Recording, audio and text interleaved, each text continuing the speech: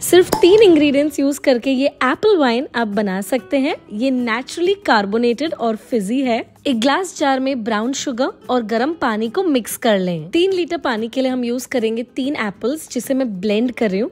Blend करते समय थोड़ा सा पानी इसमें डाल लें। ब्राउन शुगर वाला पानी ठंडा होने पे एप्पल वाला मिक्सचर इसमें डाल लें। स्पाइसेस डालना कम्प्लीटली ऑप्शनल है। एक मसलिन क्लॉथ इस पे लगा के हम इसे तीन दिन के लिए फर्मेंट होने के लिए रखेंगे। फर्मेंट होने पे ये कुछ इस तरीके से दिखेगा। एक क्लीन मसलिन क्लॉथ यूज़ करके इसे छान लें। सेकेंड फर्मेंटेशन के लिए इसे ट्रांसफ़र करना है एक ग्लास बॉटल में। इसके ऊपर करीबन दो इंच का स्पेस हमें छोड़ना है। दो दिन में एप्पल वाइन हो जाएगी तैयार। इसे चिल्ड सर्व करें एंड एंजॉय